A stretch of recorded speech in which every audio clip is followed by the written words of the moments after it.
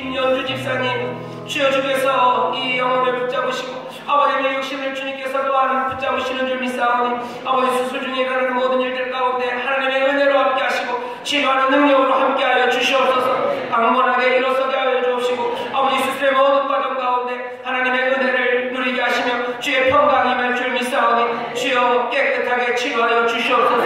아버지 하나님 하나님의 사람들을 위하여 기도합니다. 지금 이 시간에도 아버지 하나님 주여의 복음을 전하는 이들이 있고 아버지 하나님 죽어가는 가족들을 보면서도 주를 찬양하는 이들이 있사오니 주여 그들을 붙잡아 주시옵소서. 아버지 그들의 삶과 순종을 통해 하나님 영광 받으시는 줄 믿사오니 주여 말씀대로 이 세상에 주의 높이는 찬송 소리와 하나님의 영광이 가득하오니 주여 이들이 정말로 주의 뜻 따라 살아가는 그 가운데 하나님의 능력의 손으로 붙잡아 주시옵소서. 날마다 평강으로 채우시며 위로하여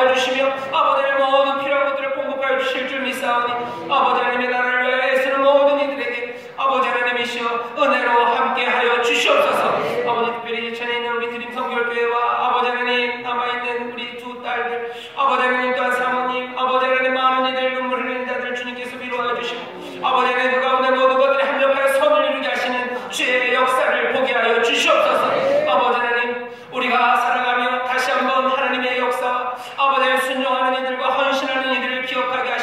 우리의 눈을 열어 주의 말씀이 우리 가운데 이루어지는 것들을 보게 하여 주시옵소서.